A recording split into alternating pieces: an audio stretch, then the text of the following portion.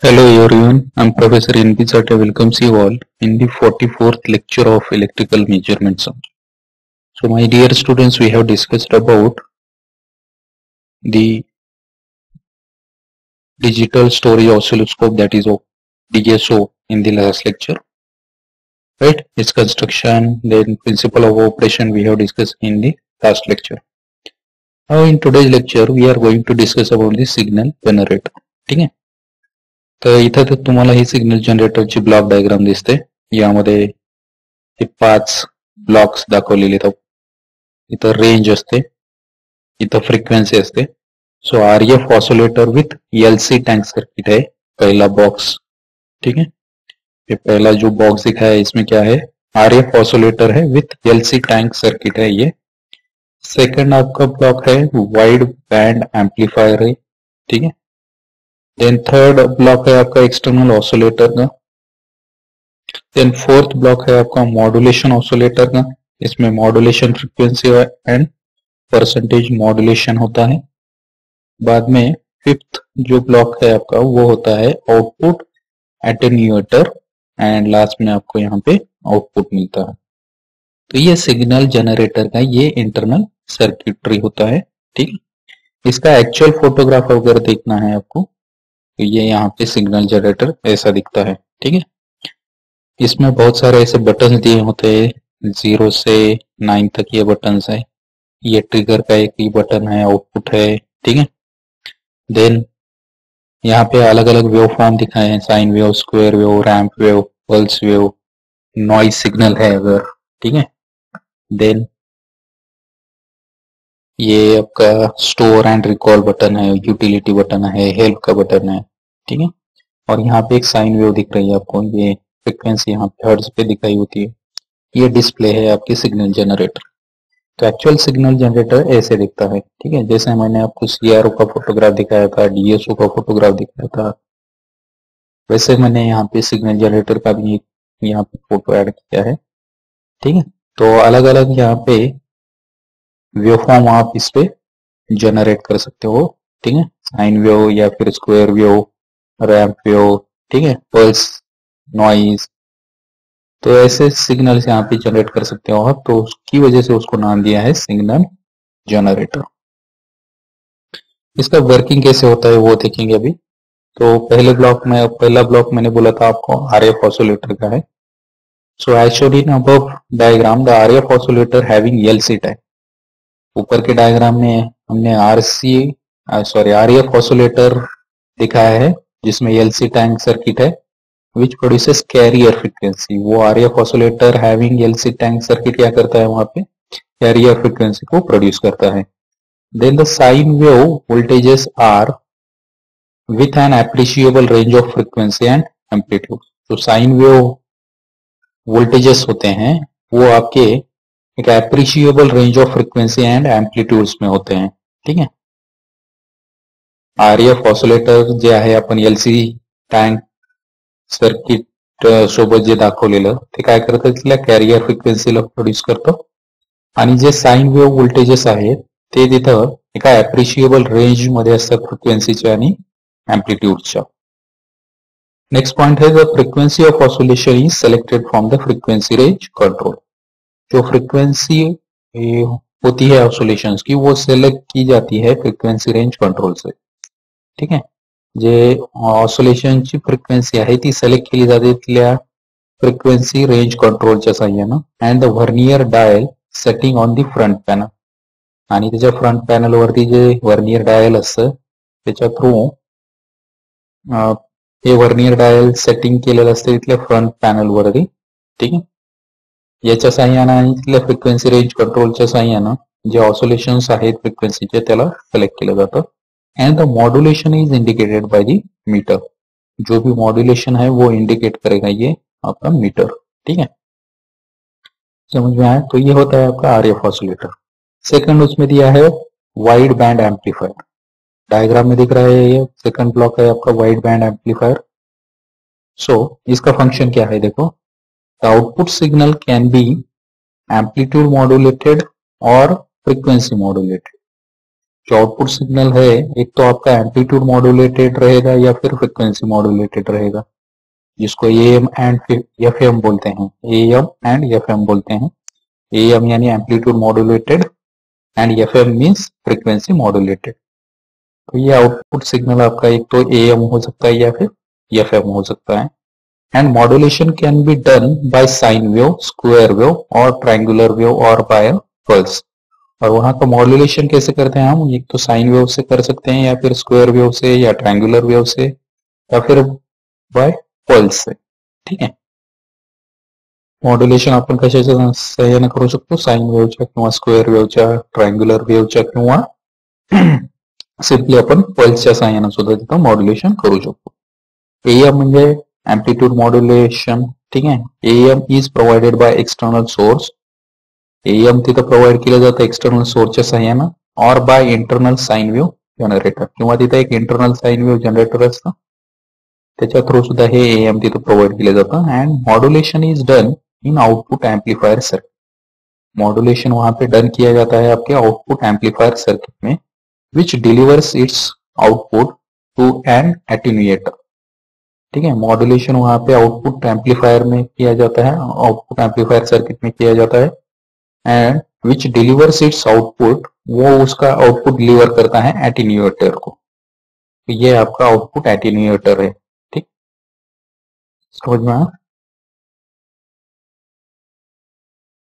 ये है आपका second block wide band amplifier then third है आपका आउटपुट एटेन्यूएटर तो इसका फ़ंक्शन क्या होता है देखो? Attenuator facilitates selection of proper range of attenuation attenuator क्या करता है वहाँ की जो प्रॉपर रेंज होती है एटेन्यूएशन की, उसको, उसके सिलेक्शन को फैसिलिटेट करता है ये एटेन्यूएटर ठीक है? एटीन्यूएटर क्या करता है? जो सिलेक्शन होता है प्रॉपर रेंज ऑफ़ एटीन्यूएशन को, उसको फैसिलिटेट करने का काम ये एटीन्यूएटर करता है। समजलं करतो? तिथल्या सिलेक्शन जे आहे प्रॉपर रेंजचं एटिन्युएशनचं त्याला फॅसिलिटेट करण्याचं काम हे and the output level is control तिथली आउटपुट लेवल नंतर कंट्रोल केली जाते. And the output voltage is observe on output meter जो कि आउटपुट वोल्टेज है, वो ऑब्ज़र्व किया जाता है वहाँ के आउटपुट मीटर पे। समझ में आया? तो ये होता है आपके आउटपुट एटेन्यूएटर का फ़ंक्शन ठीक है? देन इसमें कुछ अदर प्रोविजंस भी होते हैं, ठीक है? जैसे डायग्राम में हमने दिखा है यहाँ पे, ये एक्सटर्नल ऑसोलेटर मॉड्यूलेशन ऑसोलेटर दिखाए हैं यहाँ पे, ठीक है? ये यहाँ पे दिया दिया थे पॉइंट ठीक है? अभी इसमें दूसरे प्रोविज़न क्या क्या होते हैं देखो। फ़र्स्ट प्रोविज़न है buffer amplifier are use for isolating the oscillator circuit from the output in high frequency oscillator वहाँ पे बफर एम्पलीफायर भी यूज़ किए होते हैं। किसके लिए यूज़ किए होते हैं? आइसोलेटिंग द ऑसोलेटर ऑसोलेटर को आइसोलेट करने के लिए ऑसोलेटर सर्किट को आइसोलेट करने के लिए बफर एम्पलीफायर यूज़ किए जाते हैं। और वो ऑसोलेटर सर्किट को आपको आइसोलेट किससे करना होता है? Output in high frequency oscillator से। Output in high frequency oscillator से आपको आइसोलेट करना होता है वहाँ के ऑसोलेटर सर्किट को, ठीक है? और वो किससे करते हैं अपन? बफर एम्पलीफायर ठीक है? बफर अम्प्लिफायर कशासाठी यूज़ करायचे आपल्याला? तर ऑसोलेटर सर्किटला आयसोलेट करायचंय आपल्याला. तिथल्या आउटपुट जे आहे हाय फ्रिक्वेन्सी ऑसोलेटरचं त्याच्यापासून ऑसोलेटर सर्किटला आयसोलेट करण्यासाठी आपण बफर एम्प्लिफायर्स यूज़ ठीक आहे? ये डायग्राम है? ठीक आहे? एक्सटर्नल ऑसोलेटर मॉड्युलेशन ऑसोलेटर तिथं डायग्राम मध्ये. देन सेकंड प्रोविज़न दिया है regulated power supplies are use for frequency stability of all the ranges regulated power supply तिथं यूज़ केला जातो फ्रिक्वेन्सी स्टॅबिलिटी स्टॅबिलिटीसाठी सगळ्या रेंजेसच्या फ्रिक्वेन्सी स्टॅबिलिटी स्टॅबिलिटीसाठी अपन रेगुलेटेड पावर सप्लाई तिथं यूज़ केलेलं ठीक है ये आपका सेकंड प्रोविज़न दिया है यहाँ पे। रेगुलेटेड पावर सप्लाई सप्लाई वहाँ पे यूज़ किए जाते हैं ताकि आपके सारे फ्रीक्वेंसी स्टेबिलिटेड स्टेबिलिटी रेंजेस को वहाँ पे सारे फ्रीक्वेंसी स्टेबिलिटी जो होते हैं सारे रेंजेस के, उसको रेगुलेट करने के लिए वहाँ पे पावर सप्लाई यूज़ किया जाता है। देन थर्ड प्रोविज़न क्या दिया है वहाँ पे? Temperature compensation is also provided temperature compensation को भी वहाँ पे प्रोवाइड किया गया है, ठीक है? टेम्परेचर कंपेंसेशन को वहाँ पे प्रोवाइड किया गया है, ठीक है? हे सुद्धा एक त्याचं प्रोव्हिजन आहे टेम्परेचर कॉम्पेन्सेशन प्रोव्हाइड केल्याचं ठीक हे? तीन दुसरे प्रोव्हिजन्स इथं आपण सिग्नल जनरेटर मध्ये प्रोव्हाइड केलेले असतात. ठीक आहे? मग या सिग्नल जनरेटरचे ऍप्लिकेशन कुठं कुठं आहेत? ते पाहू आपण. It is use for bandwidth measurement bandwidth measurement आपण हे सिग्नल जनरेटर यूज़ करतो. Bandwidth means range of frequency बोलते हैं उसको. ठीक है bandwidth means means range of frequencies ठीक है तो उसके मेज़रमेंट के लिए हम सिग्नल जनरेटर यूज़ करते हैं। Then it is use for gain measurement gain measurement के लिए भी हम यूज़ कर सकते हैं सिग्नल जनरेटर को।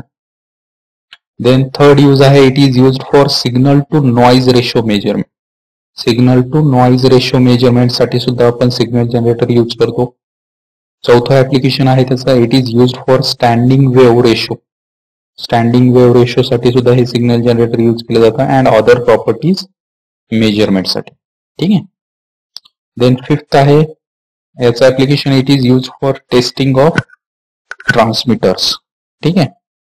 ट्रान्समीटर्सला टेस्ट करण्यासाठी सुद्धा हे सिग्नल जनरेटर यूज़ केलं जातं. Then next it is use for testing of radio receivers radio रिसिव्हर्सला सुद्धा टेस्ट करण्यासाठी आपण हे सिग्नल जनरेटर यूज़ करतो. क्लिअर आहे? So these are the various applications of the signal generator. In your main examination, the question might be asked like this. Uh, explain with a block diagram signal generator. Explain with a uh, block diagram signal generator, then it's working. And sometimes the question asks on applications of the signal generator for two marks, right? Application के लिए के ऊपर भी आपको signal generator के question आ सकता है। दो मार्क के लिए what are the application of signal generator बोल के, ठीक तो ये आपको एप्लीकेशन ध्यान में रखने होंगे, ठीक? समझ में आया? इसमें कुछ डाउट है, ठीक है? तो ये है आपका सिग्नल जनरेटर ये पाँच ही ब्लॉक है, इसमें ज़्यादा कुछ डिफ़िकल्ट नहीं है, ठीक है? तो इसमें कुछ डाउट है तो आप मुझे कभी भी पूछ सकते हैं, ठीक है? so we will stop here. Thank you for watching this video lecture again. We'll meet in the next lecture. Thank you. Thank you very much.